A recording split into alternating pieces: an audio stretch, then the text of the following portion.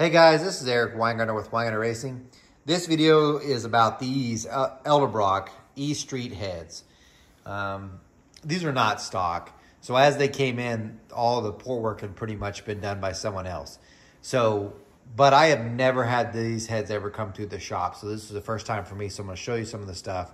I'm also going to tell you what happens if you cut out an intake valve to a two uh, from a 202 valve to a 2055. What's it do on flow on this head? Because that's all I did and also a valve job just to see what would change.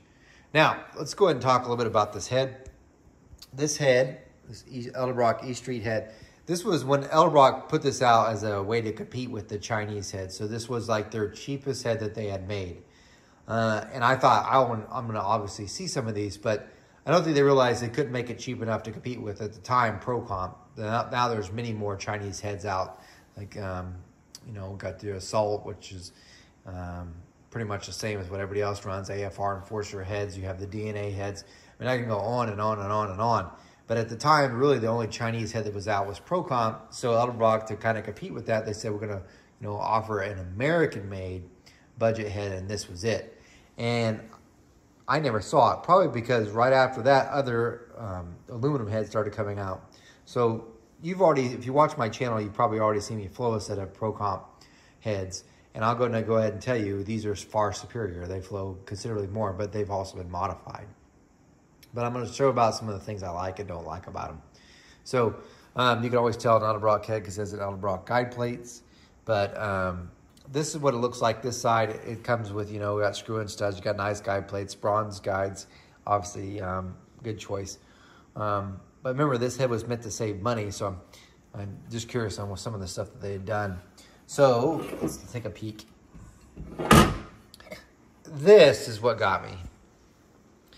These chambers that you see here are very outdated. This is a horrible chamber design. And some of you guys have been hot rodding long enough will know that chamber looks a lot like the Edelbrock Performer RPM heads. They're on the small block Chevys. And you are correct. Many, many, many, many, many, many, many, many, many years ago when Edelbrock had their Performer RPMs, their chambers looked a lot like this, which was like, it almost looked like they took a double hump head and they said, hey, let's make an aluminum version of it. And that's kind of what they made. And that's kind of what this looks like. And I know some of you are like, that is not what an Edelbrock Performer RPM head looks like as far as chamber wise. If you get a new one, it doesn't because this is a newer one. This is one I've had for a while, at least in 2008. This is a desk number. If you look at the chamber, it's a different design. This is actually, even though it's really, really old, is the newer chamber design than this. However, if you look at the ports, although this has also been modified, so it's hard to tell, but I'm gonna go ahead and tell you these ports are similar to these ports. Of course, that's also been modified. Uh, so it's hard to judge, but I'm gonna tell you they're very similar. There's some things that they for sure did to save on costs, and one of them being the seat material. So these are your Performer RPM heads. Um, they used to be the more bu budget ones, but these to save money, they did different things. One of the things that they for sure did was, this is a ductile iron seat, and I love cutting these. AFR has about the same seat material, so does Profiler, so does Brodix. Um, Trick Flow does. Last time I cut them, they did. These are the material. This is the best to cut, so it's the best to machine. Um, it actually is the better life for the valve too. Um, I love these type of seats and several companies use this. A cheaper seat material is what's in this. Now, granted, they look nice and shiny. They've been cut. They're hard to cut because these are like a powdered metal seat. They're very hard. So you would think, well, that's great. It, it, it's hard, so it's going to last longer. Yeah, it also beats up the valve more because one thing's got to give. So, um, yeah, these are, I hate machining these every time. And even though I got my new seat guide machine, your cutter better be sharp or you're not going to get a round seat with these. And this is this powder metal stuff. The other disadvantage of this is on a ductile iron seat like this, when you have a tuning problem or something, they'll burn out. So parts will, uh, they don't necessarily chip out, they'll just um, burn. These powdered metal ones that are in these, they actually come out in chips because it's a harder material. It's also more brittle and it literally comes out in chunks. I'm not saying I, I don't have, again, this first one I've seen, but usually when you see powdered metal seats, they're the ones that chip out. Um, a good example, like this type of seat, is the same way that the uh, ProComp, which is a Chinese head, that's the way their seats look when they're machined they'll chip.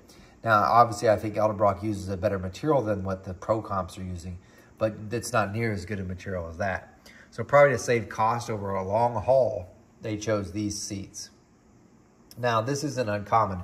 For instance, on Brodix's IK heads, they use this same seat material, but on any of their other heads, like their Dragon Slayers and pretty much everything else, they use that seat material. And the reason for it is it saves cost. Although I hate them, and I hate that seat, which I hate these seats. So anyway, there's one thing for sure it could save on cost. The other thing that you could obviously tell is the machining time. You see these round holes that are around the bolt uh, push rod slot? That's where these are. Notice the RPM. Uh, the way I think it comes is, I'm fairly certain, they probably look like this to start off with. And what they did is they took an end mill and they just run it over in the machine. And you wouldn't think, so why don't they just do that? It's not that big a deal.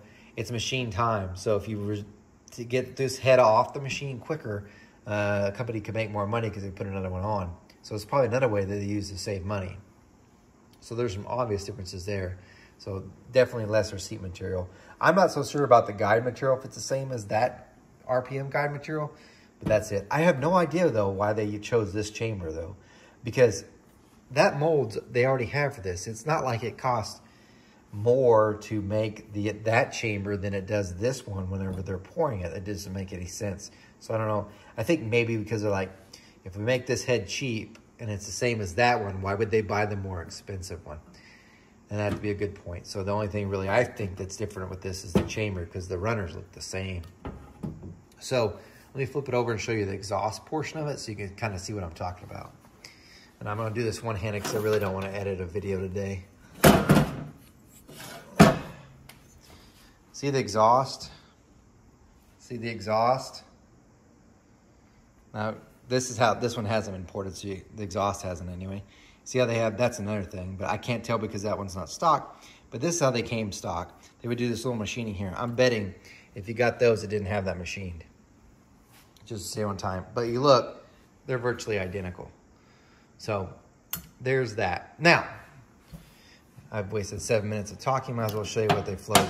Someone had ported these, and I really think they just did a mild, very, very, very mild job. But I got to show you what they flow because they actually do pretty good. This is a 430 board uh, signs bench. Let's see. This is the stock ones, and this is putting in the bigger valve and then redoing the valve job. So if you look, I like care about 4, 6, and peak. At 400, it's 223 stock and then it goes 257 at 6, which is really good there. And then it peaks about 266 or 65. That's really, really not really that not that bad of a flow for this head. So it's it's really good. So if you get these from the um, scrapyard or whatever, these are pretty good. These are better than any Vortec head. So if you're like, ah, I got my Vortec heads are better. No, they're not. They're not even close. So this is much, much better than many of the stuff that's out there. Um, granted, someone has worked them over.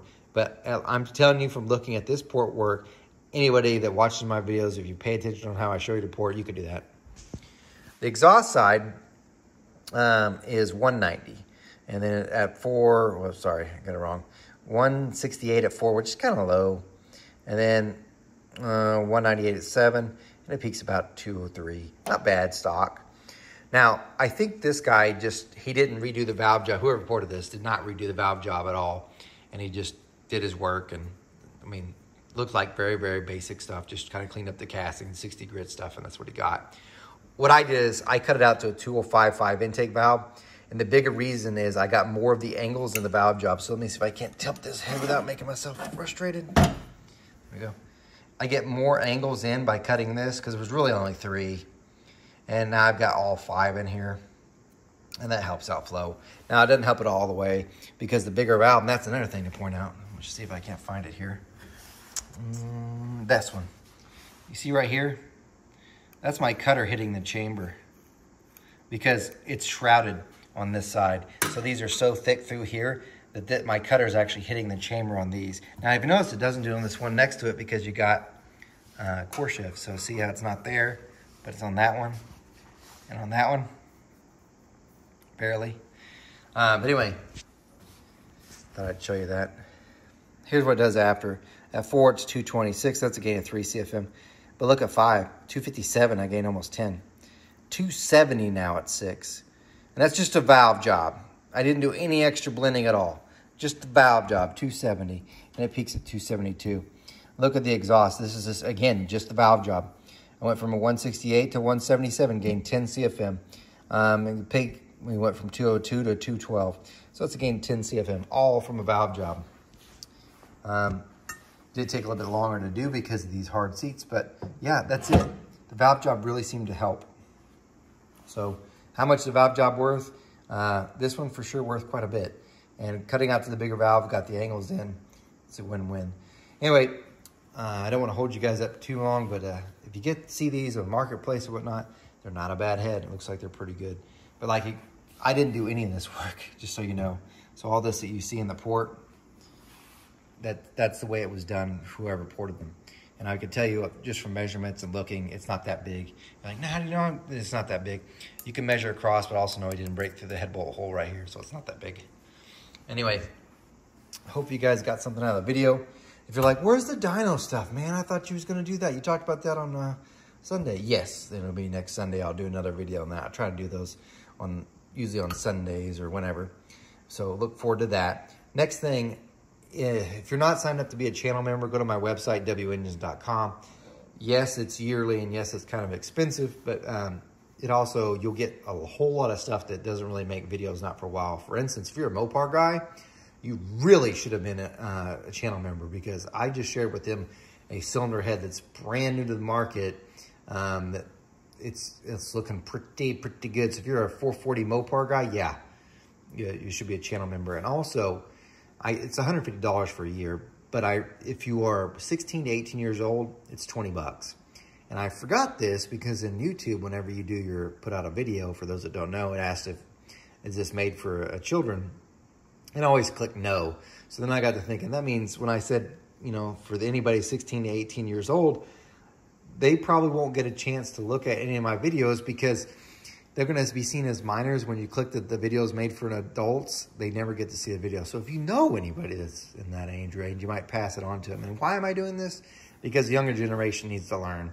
So um, I can't take this information with me, obviously. And instead of them getting bad stuff, it's better to that way. So uh, anyway, you guys, uh, remember I'm no Superman. You guys take care.